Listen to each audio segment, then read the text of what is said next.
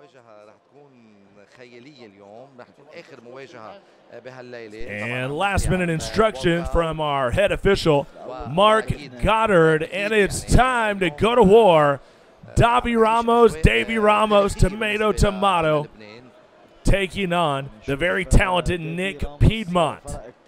It is your MMA main event in the lightweight division, and round one is underway in the all black tights it is Nick Piedmont, no limit, taking on in the black with the decals, Davi Ramos. Gotta believe that David Ramos is gonna try to take this thing down at some point. Very, very talented on the ground. Four out of five wins by submission. He knows how to get that tap out. Nick Piedmont, very durable though. Very impressive record has been up and down the road, has had some big fights, and still only 27 years old. Filling out process here is Davi Ramos hangs out there right in the middle of the cage. Now remember, Nick Piedmont has that range. If he's able to utilize that and circle, that could work to his advantage.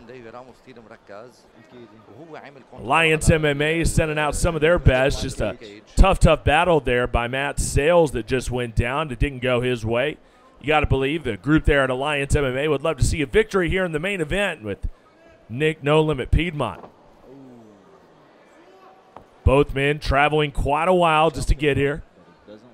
Ramos coming from Brazil, Piedmont coming all the way from California, so both had quite the trek to get here. Both seem pretty focused at the weigh-ins and and prior to the fight as we see Ramos continuing to throw that jab out there, unable to connect. But both seem very focused. They didn't see too affected by the lag. They had a little bit of time in Lebanon to get accustomed, and I think that helped. That being said, that big of a time difference will throw your sleep off in a big, big way. Take it from somebody that does this type of trip on a regular basis. It's not easy to deal with. Nick Piedmont trying to get to the center of the cage here and maybe employ a little bit of offense. He's going to have to circle, and he's going to have to stay out of the way of that big right hand from Davi Ramos. He has some serious power in those mitts. Nice See, Ramos overhand. keeps teasing it. He's swung and missed a number of times, but if he connects, he still has a lot of power and a lot of energy right now. It's going to do some serious damage. We keep things rolling here for round number one, MMA main event. Remember, folks, we still have our main event of the evening Muay Thai action featuring the one and only superstar that is Buakaw. This is Phoenix FC. We hope you're following along online on through our social media. Let everybody know you're watching Phoenix number one, hashtag Phoenix one. Unable to connect here is Nick Piedmont. He's throwing out a lot of strikes, but he just has not established that range yet hasn't got his timing quite down yet. Same with Davi Ramos. The only difference is Davi Ramos seems to be moving forward a bit more now on his back. When it's a stalemate like this, sometimes it's the more aggressive fighter that's going to get credit. Neither one has really committed to any sort of strike or any sort of takedown attempt. Nice straight right hand. Just been a lot of uh, a lot of sparring here at this point. Oh, and here we go. Here comes that takedown attempt from Davi Ramos. Tried to get the double leg. He hits a big right hand, is able to get it to the ground. Now he has one hook in, and just like that, in a matter of seconds, he has the back, both hooks in on Nick Piedmont. That could be trouble. You look at the power, the stature of a guy like Davi Ramos, has huge arms might be a little difficult to get underneath the chin of Nick Piedmont as he's trying very, very hard right now to get under that chin and finish this fight off quickly. Could it be another round one finish for Davi Ramos? Nick Piedmont in survival mode right now. Not a stranger to this position. He's been here before has got out of these many times in his career. I had a chance to watch the video on Piedmont. And this is a guy that's very durable. Does not get tapped out easily. Does not give up easily.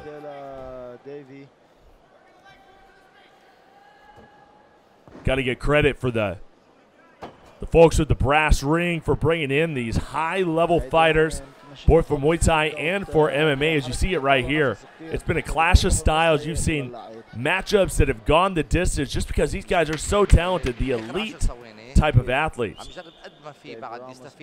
Ramos wants to end this thing, but is unable to sink in that choke. Piedmont just not giving it great submission defense. And that's going to be it. That's it for round number one. A very eventful round, which saw Davi Ramos uh, most likely cinching that round. See Claudio Cesario fanning him off.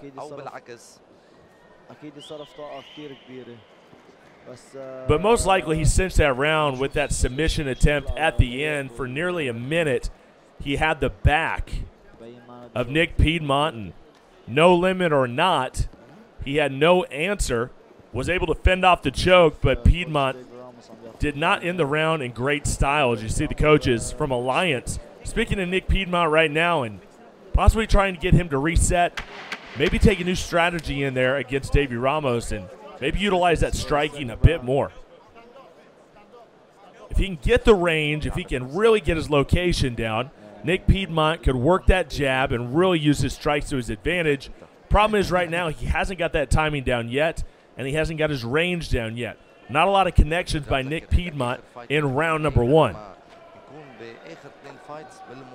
Davi Ramos, look at the eyes of that man. He is absolutely shredded up. What a big dude at lightweight.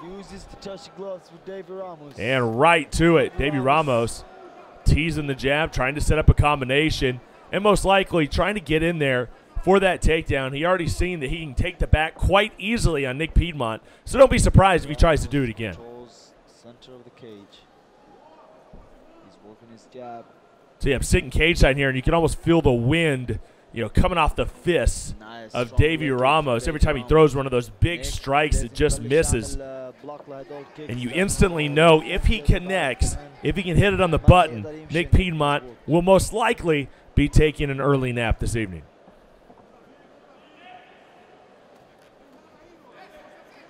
Phoenix FC, a vision by so many men here in Lebanon, able to put on an elite event with not only Muay Thai, which is very beloved here in the region, is really catching on, but MMA as well. And right now, you have one of the biggest organizations in all of the Middle East, and they uh, they're going to rise quickly. You can already tell with this sort of production that they're on that upper echelon. Big right hand that did sneak through for Ramos. Piedmont unable to answer. Nick Piedmont, great movement, great feints. The only problem is he's not able to connect. We haven't seen really any significant strikes by Nick No Limit Piedmont. Now going to the body with that kick. And it's, he just has to get a little bit more closer and he has to commit with the punches.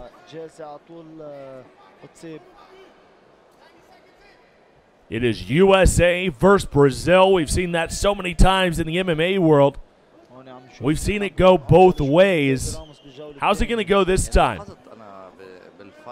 So interesting. We look at the MMA landscape. You know, Brazil, basically the home of MMA, where it all got started with the jiu-jitsu background. And then, you know, as of late, so many big stars have come out of the U.S. just in the past two decades, and they've kind of evened the score a bit. And then, of course, the international community is picking up steam as we speak. But these two powerhouses in the MMA community going after each other, and a big right hand from Ramos. He landed one, was unable to follow it up, but nice shots by Davi Ramos.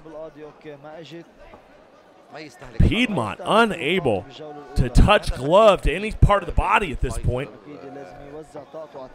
Almost like a shadow boxing session, just unable to connect on Davi Ramos. You see absolutely no damage really on either fighter. But at some point, with it being over the halfway point of the round, you got to believe you're going to try to go for that takedown and at least cinch on those points.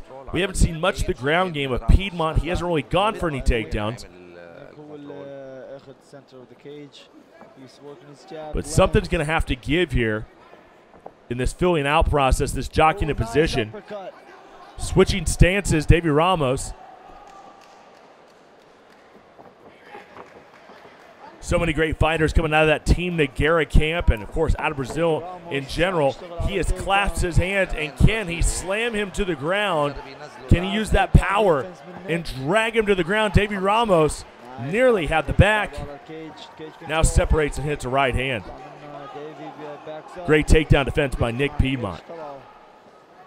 Can he capitalize? Big head kick. Just grazed the head of Davi Ramos. That could be the most significant strike from Piedmont in this fight. Nice left hand, switching stances. Goes Davi Ramos again. Ramos appears to be in control after a nice round in round one.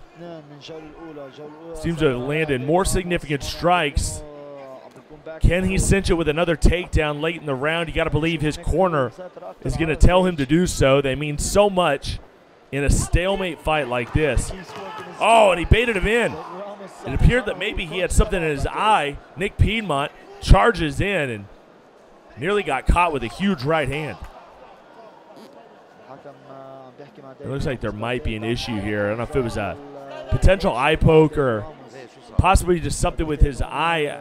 We're not really sure here. It's hard to tell exactly what went down, but Mark Goddard brings them back together, make sure everything is okay for Davi Ramos. And we're back to action. The big overhand right just misses. If it connects, could be lights out or at least do significant damage. 27 years old for Piedmont, 30 years old for Ramos, two men in their prime. Two different fighting styles and, and two different body types here. As you have that short, stocky, powerful style. And that's round two. And that was pretty much a stalemate. You had a nice head kick from Piedmont that snuck in there. But maybe a little bit more action from Ramos in round number two. Did he do enough to take yet another round? And if so, what kind of pressure is going to be on Nick Piedmont here in round number three? Third and final round coming up here is our beautiful Phoenix girls. Continue to entertain here in the intervals. Glad to have everybody watching around the world here to Phoenix FC. Taking a look at the replay. Wasn't a whole lot to see in this one. Little outside leg kick for Ramos. Nice shot to the body by Ramos, and we may get to see that head kick. And there we get it. See him cinching in the back there. Another outside leg kick for Ramos, and great action by Ramos. A lot of aggressiveness you see from the replay. And Nick Piedmont is going to have to get fired up here, and he's going to have to go into desperation mode and and really go for some significant strikes. Possibly try to get any sort of knockdown, takedown to maybe even this thing up. I think he's down two rounds. That being said, I don't get paid to judge, only to commentate the fights. So don't take my word for it. Piedmont continues to move. Ooh, and there we go. Nice jab. Finally starting to find its way to the face of Davi Ramos. And could that range be there now? If so, can he put together enough strikes to make a difference? Ramos has been relatively untouched the entire fight. And just charges forward, man. Just stalking forward is Davi Ramos, not giving up any sort of ground right now. Outside leg kick. He's continued to beat up on the legs. You can see them getting a little red there up on the left thigh of Nick No Limit Piedmont. Nice low kicks from Davi Ramos. Nice combination by Piedmont. Nick has to start blocking those kicks. Working the jab, Nick Piedmont. Davi Ramos swings and misses. It has to be time. His coach is yelling for him to get moving. Piedmont is going to have to turn on the gas, turn on the afterburners here, and and fight forward. He is going to have to throw some big strikes and leave a little caution to the wind if he wants any chance to win this fight. I feel like he's down to two rounds, and at this point, within reason, it has to be anything goes. We've seen Nick Piedmont do it before. He has those he has those finishes on his record. It's definitely not that he can't do it. He has a nice TKO by stoppage, actually two, three in his career. So it's not that he can't outpower these fighters, he can definitely do it. At four or five, actually, in the career of Nick Piedmont. Well, if he's going to do it, he's going to have to really put some hands on the face. Or throw a big kick here to change the outcome of this fight. Moving forward, though, not wasting any time here is Piedmont, but he's going to have to throw some big strikes and in volume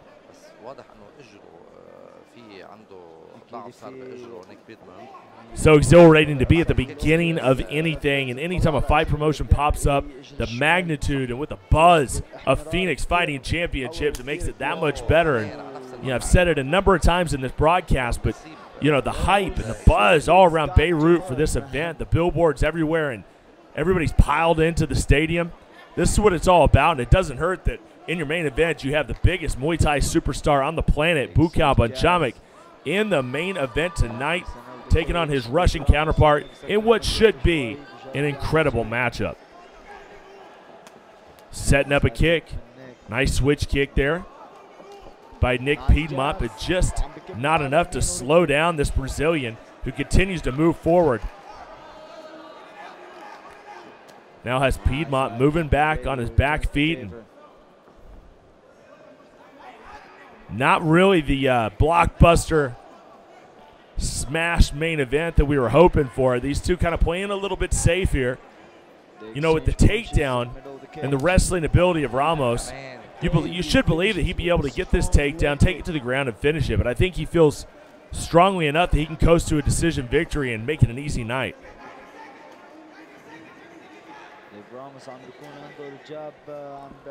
Still swinging and missing. These guys could easily go into a five round fight. And I think that's what the folks wouldn't mind seeing is a five round fight. Pushing forward. Davi Ramos, a big right hand. That staggered him. Nice shot, Nick Piedmont. He felt that one. The right hook really starting to land for Davi Ramos. Can the Brazilian close the book on this fight?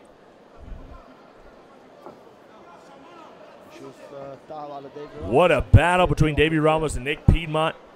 Both men coming to bang, but just not just not committing to the strikes, not going for the takedowns as much as we'd like to see. As everybody here wants to see a finish here in Beirut, Lebanon. They piled into this stadium for a reason. Circling, circling as Piedmont finally, Ramos gets a hold of him. Outside leg kick. Oh, and here he comes for the finish. Big right hand moving forward. Now leaving nothing to chance. Another right hand. And Davi Ramos is putting a beating on Nick Piedmont. And that is it. Round is over. He slaps the hand of Nick Piedmont. And how about that? What a battle there, and that final 20 seconds was absolutely intense. Nick Piedmont thinks he won this fight. It's going to be tough. It is not going to be an easy decision to pick Piedmont here. Did he do enough? We had some pretty up and down rounds here, and Piedmont had a lot of movement, but just not a lot of strikes landing. Ramos there right at the end. You see the show of respect. They slapped each other's hands away right at the end of the fight. I think still in that Warriors mentality, but once they came down off that high, now they can shake hands, they can show love, they can be martial artists, and now it's going to come down to the judges once again who is going to take home the victory in the main event, our MMA main event of Phoenix FC. You see the takedown attempt, which set up a huge right hand exploding forward. We saw Davi Ramos, and here we go again. Big kick to the body. Another right hand grazes. And we saw flashes of some real explosiveness from Davi Ramos. And this is a guy that I would love to see again. Piedmont put on a nice performance, but just not uh, appealing to the eye. As you can see, that championship belt, that lightweight championship belt about to be presented to the winner of this fight. Who is it going to be? Is it going to be Davi Ramos? Is he going to be the very tough Nick Piedmont? We're about to find out official decision. Who to see you takes home the gold? Grant Waterman. Ladies and gentlemen, presenting the championship belt for this contest is Jahey Yaravenyan, the president of uh, Phoenix Fighting Championships.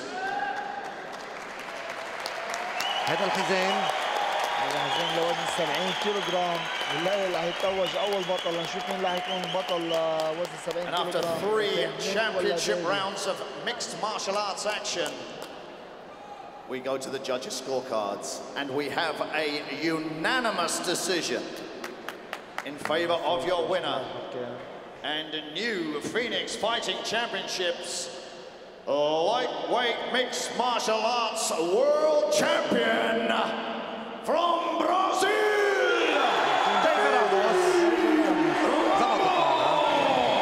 That's a beautiful piece of gold. Our president handing it over, and what a historical night in our main event. Davi Ramos taking home the gold, ladies and gentlemen.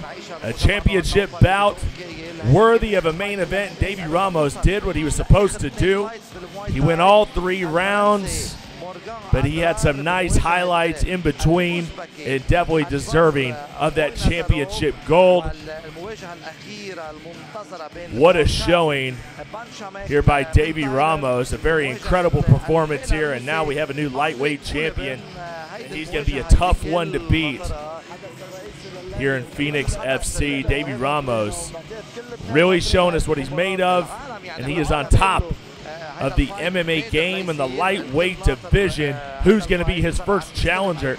Make sure you stay tuned to Phoenix Fighting Championships to find that out.